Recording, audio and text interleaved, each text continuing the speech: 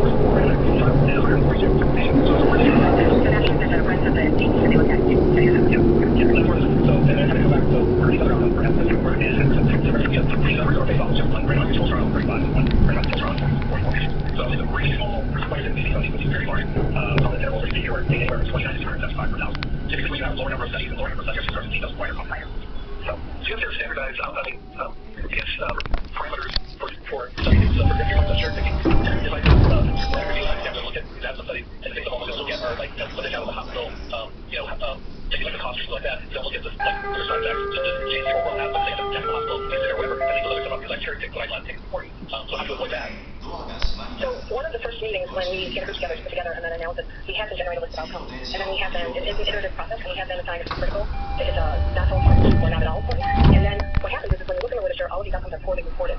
And so you may say cost is important, just like one study. And so you keep it as an outcome, one study was found, but you just have to um, then make comments based on outcome and not outside your outcome, and then that's the limitation. Yeah, but again, like you take Jerry Rex and listed all these outcomes, you have 35 or someone else who's an instructor that, hey, you know, I, I think these patterns are really close to one, I'm just going that, and I published meta-analysis, because we're trying to say something, so how do you, you know, take the meta-analysis, meta-analysis,